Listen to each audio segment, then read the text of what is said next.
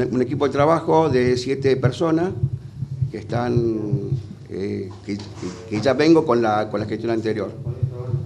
Eh, contador, usted, bueno, hace muchos años que está usted de carrera en este caso, eh, ¿cómo ha encontrado o cómo sigue, digamos, la tarea del Renatre, de Renatea primero y del Renatre en estos momentos? Bueno, eh, estamos viendo los papeles, lo que nos dejaron, y una vez de que se analice la situación, eh, vamos a dar una, un, informe.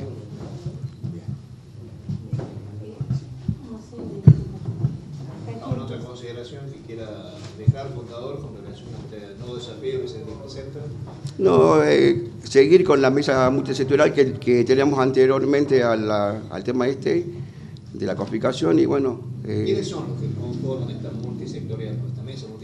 Bueno, estaba eh, Osprera, eh, el gremio de Guatre, Renatre en su momento, eh, producción, producción, eh, Azolcat, Federación Agraria, Sociedad Rural también. Sí. ¿Qué cambio quiere imprimir a su gestión de lo que venía haciendo la anterior?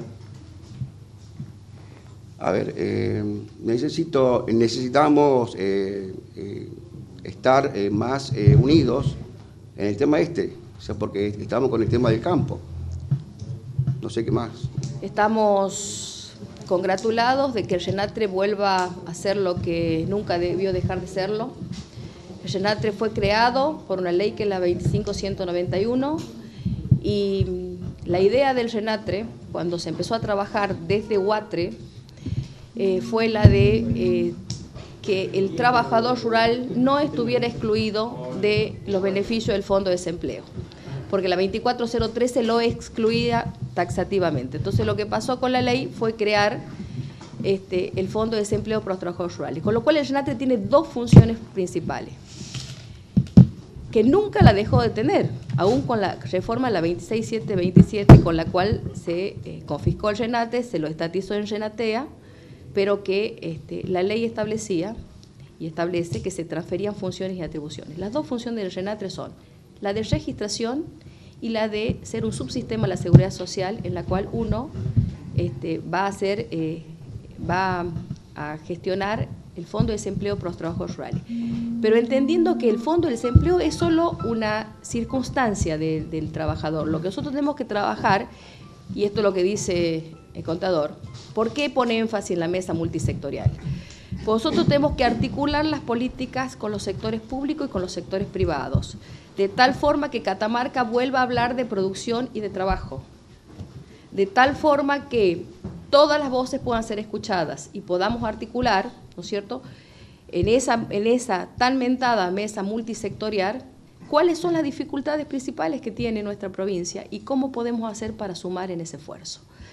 Hay una nueva etapa, un nuevo escenario en el país.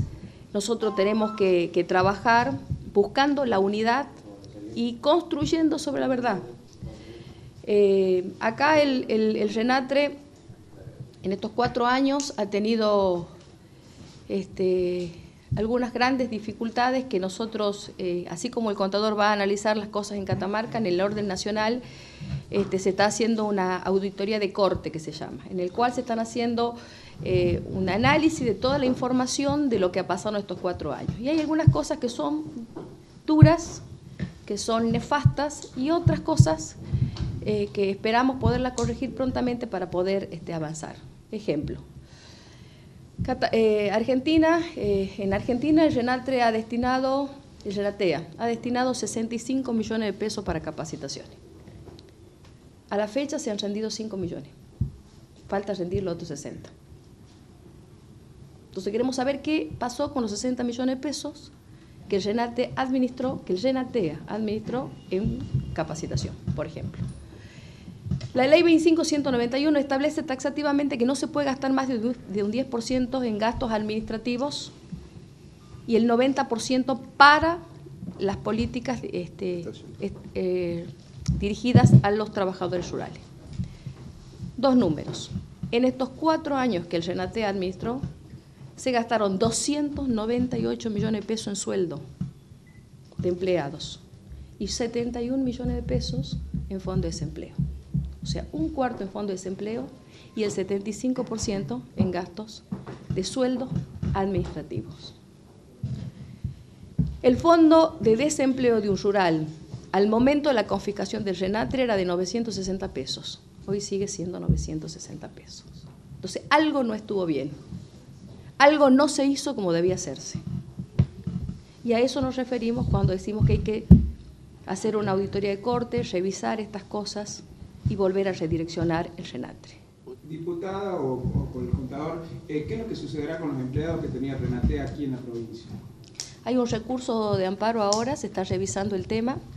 Eh, algunos empleados eh, que estaban afiliados a UPCN este, han tomado la decisión de firmar un acuerdo, retirarse, y otros han apelado la permanencia en el cargo. ¿Eran muchos? ¿Cuántos ¿Cuántos empleados? No, son eh, ocho. Ocho. Catamarca. Ocho más tres, eh, que somos once. Once en total. Nosotros teníamos una planta de tres trabajadores y acá este, hoy hay 11. En Argentina había 236 empleados y ahora hay 900.